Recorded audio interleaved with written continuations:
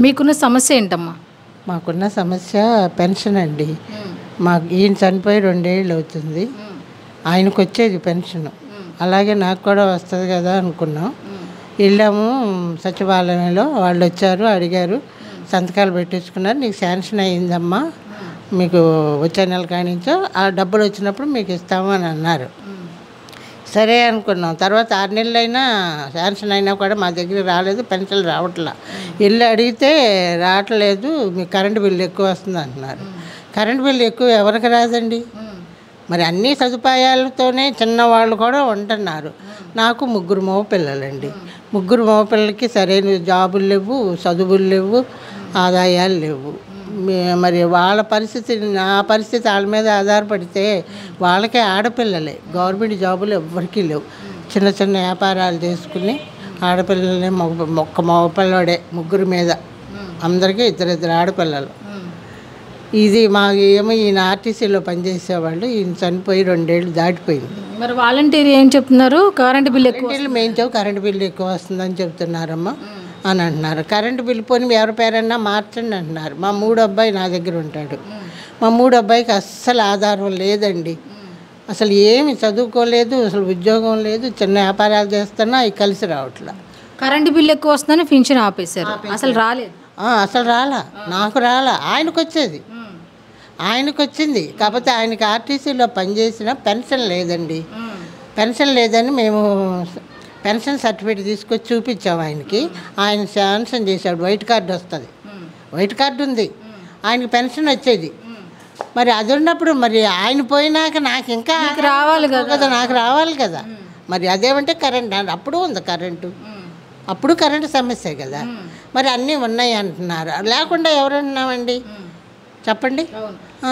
సరే పోనీ ఇప్పుడు పెరుగుతున్న నిత్యావసరాల ధరలు ఎలా ఉన్నాయమ్మా ఇంకా పెరుగుతున్న ధరలు అంటే చెప్పవలసిన పనే లేదండి.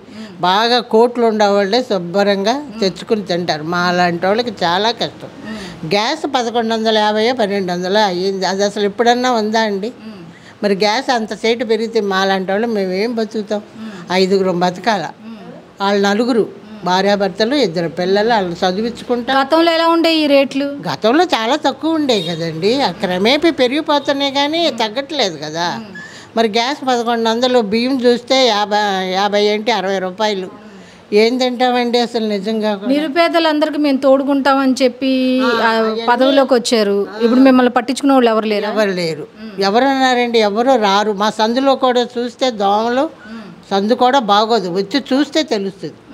సందులు బాగు చేస్తున్నాం ఇదేమమ్మా సిమెంట్ రోడ్లు వేసేస్తున్నాం అన్నారు. ఆ గోతులు అయ్యో చూడండి వర్షం వస్తే నీళ్ళు నిలబడటమే ఇంట్లో విజయవాడ నగర అభివృద్ధికేమో ఐదు వందల కోట్లు కేటాయించింది రాష్ట్ర ప్రభుత్వం అన్ని పనులు చేపిస్తుందని వాళ్ళు అంటున్నారు. మరి వేయండి నేనేగా చెప్పడం కాదు ఎవరినన్నా ఈ బజార్లో ఎవరిని వెళ్ళి డ్రైనేజీలు మాట మాటకి పొంగుతాయండి.